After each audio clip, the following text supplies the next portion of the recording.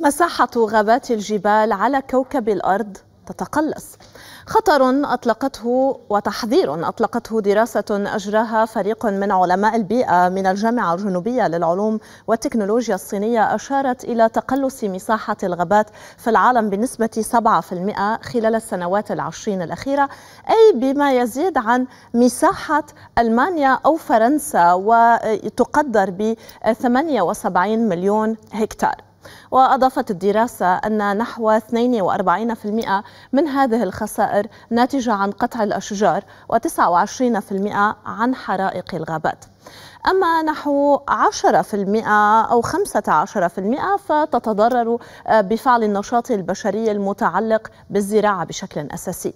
ووفق الدراسة المنشورة في مجلة One Earth العلمية فإن سرعة تراجع مساحات الغابات ازدادت خلال السنوات الأخيرة 2.7 مرات. ووجدت الدراسة أن غابات الجبال في آسيا كانت أكثر تراجعا من المناطق الأخرى حيث سجلت نحو نصف الخسائر. وكذلك غابات الجبال بأوروبا التي تقلصت بالقدر نفسه تقريبا.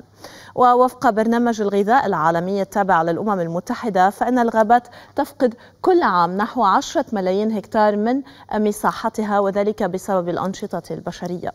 وخلصت الدراسة إلى ضرورة تكثيف مكافحة إزالة الغابات في المناطق الجبلية من الأرض.